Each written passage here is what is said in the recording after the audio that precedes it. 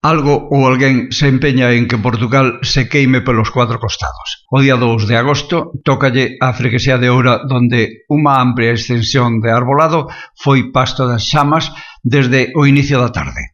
Antonio Vieira Cardoso, presidente da Xunta de Freguesía de Oura. Eu estaba a trabalhar, eu eh, trabalho na escola de Vidago, e fui chamado por um colega a dizer que andava aqui na minha zona, que andava aqui um foco de incêndio.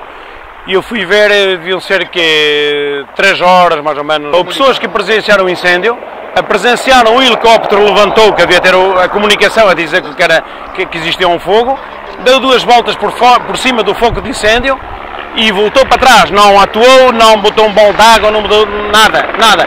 Quando regressou, já não teve controle. Só andava o helicóptero, os bombeiros de, de Vidago, eh, apareceu mais tarde um carro, dos bombeiros de Vidago, passado uns tempos apareceu um, um carro dos bombeiros de Vidago, que passou por mim na, na, na, portanto, na estrada nacional número 2, ali que chamam o Regás, e apareceram uns, uns bombeiros de, de, outros, outros, de outros conselhos vizinhos.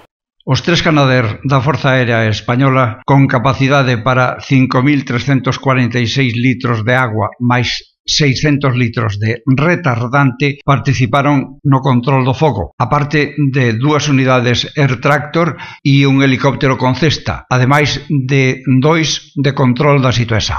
Os medios aéreos eh, españois a que...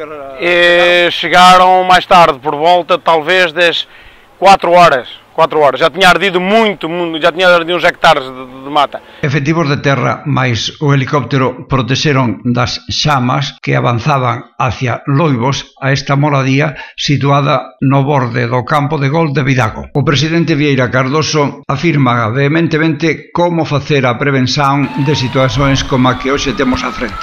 O que falta aquí é durante o inverno, durante o ano, haver a tal prevenção de incêndio saber onde é que os locais mais de risco e pôr os postos de vigia. Por exemplo, este local onde começou este incêndio, onde começou este, este incêndio, que é por baixo da, da, daquela, daquelas eh, portanto, do, do, dos contentores do gás, é? onde tem aqueles depósitos do, do, gás, já há dois anos tentaram chegar lá a fogo. No ano passado, novamente, era um ponto que estava referenciado, acho que tinha que pôr ali um, um vigia, quem faz o relatório da proteção civil, havia de haver ali um, um, eh, já eh, um, posto de vigia, um posto de vigia para que este ano, no verão, não acontecesse isto. O, o que está a acontecer, não houve a prevenção e está a acontecer. Há muitos jovens que acabam a universidade agora, podiam fazer turnos, podiam lhe pagar, ganhavam ali uns, uns tostões que faziam falta e faziam ali um controle daquilo. Faziam ponto, pontos de vigia. Não faziam ponto de vigia. E quando, é, quando isto começa a arder, depois já forma-se um aparato aqui enorme, são avionetas, são canadeiros, são helicópteros, é televisão, é tudo aqui a filmar e pronto, e é isto no país temos. E logo temos tema para oito dias, ou Sim, oh, exatamente. Agora durante oito dias vai andar este, este, este, este, este incêndio vai andar nas notícias. Em notícias todos os dias.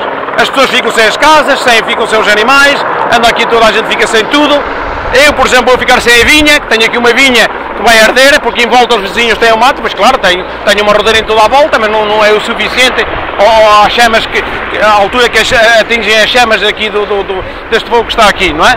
Agora temos que ver, eu não sei porque é que um helicóptero, quando levanta para ver um foco de incêndio, não leva o balde para atuar logo. Isso é que não compreendo.